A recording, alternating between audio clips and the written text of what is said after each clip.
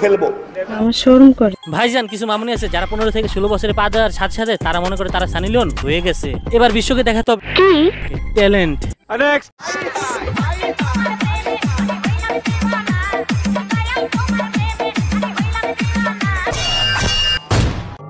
আরে বাদান এসব মামুনিদের ট্যালেন্ট দেখার জন্য একমাত্র প্ল্যাটফর্ম হচ্ছে টিকটক আমার গোছালো জীবনটা গুছাই দিব গুছানোর মতো অনেক লোক এখনও আছে কিন্তু কিছুদিন পর আর থাকব না। বলেন কি? কারণ তারা এখন টিকটক ছেড়ে ইউটিউবে আসতে আছে ইউটিউব সেলিব্রিটি হওয়ার জন্য।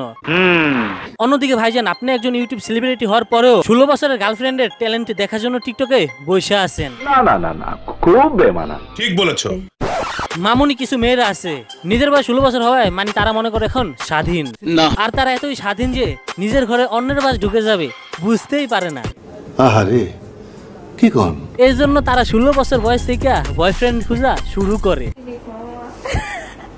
দেখো আজ বয়ফ্রেন্ড নাই বলে কি সোফা ধরে ঘুমাচ্ছে? কেন রে সোফা ধরে রাখা লাগবে? বাসায় কি কোলবালিশ নাই? সেটাকে বয়ফ্রেন্ড ভেবে চুষে চুষে খা। খা খা খা আমায় চুষে চুষে খা গিলে গিলে খা। তুই ধৈর্য ধর। মানুষ অপরাধ করলে তাকে শাস্তি দেওয়ার জন্য জেলখানায় পাঠানো হয়। কিন্তু অন্যদিকে মেয়েরা বেশি স্বাধীনতা চাইলে তাদেরকে ঘরবন্দি করে রাখা হয়। কিন্তু তখন তার হাতে যদি একটা স্মার্টফোন দেওয়া হয় তাহলে সে ঘরে বসে ট্যালেন্ট দেখায়। কারেক্ট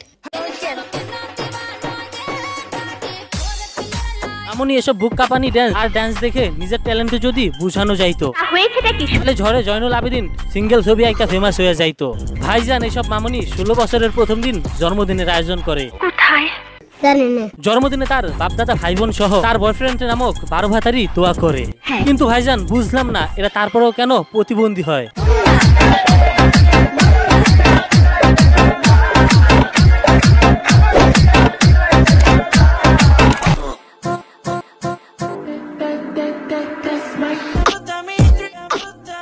নাউজুবিল্লাহ আস্তাগফিরুল্লাহ। ভাইজান এদের বয়স পনেরো বছর হতে না হতে টিকটক করা শুরু করে দেয়। পরিমনির মতো হওয়ার জন্য সব মামুনির এই টিকটক করে পরিমনি হয় না। কিছু মামুনি আছে টিকটক করতে গিয়ে হাত পা ভাঙ্গিয়া আমি বিশ্বাস করি না।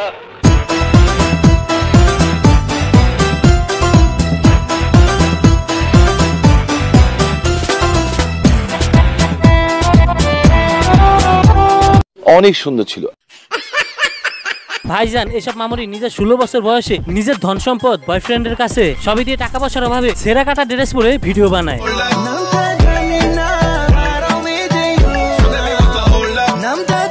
আমি দেখছি। তুই মাতাল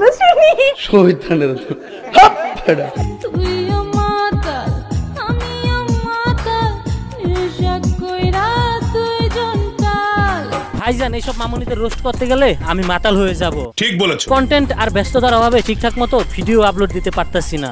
কিন্তু অন্যদিকে চিন্তা আছে আরও নতুন নতুন ভালো ভিডিও আসবে। কিন্তু আপনারা আমার চ্যানেলটিকে সাবস্ক্রাইব করে পাশে থেকে বাড়িয়ে দেন। Thank you so much